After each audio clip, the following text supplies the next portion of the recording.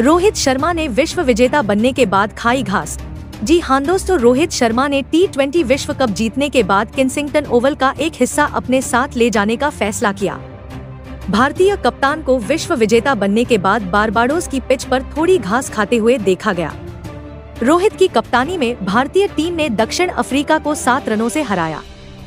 उन्होंने ठीक उसी अंदाज में इस खास मौके का जश्न मनाया। जिस अंदाज में महान टेनिस स्टार विम्बलडन जीतने के बाद मनाते थे। वह खिताब जीतने के बाद विम्बलडन की घास खाते हैं। जीत के बाद आईसीसी ने रविवार को रोहित का एक वीडियो पोस्ट किया, जिसमें भारतीय कप्तान को उस ट्रैक पर दिखाया गया, जहाँ उन्होंने ऐतिहासिक जीत की पटकथा लिखी थी और ट्रैक पर घास के कुछ टुकड़े खाते हुए दिखाया गया था।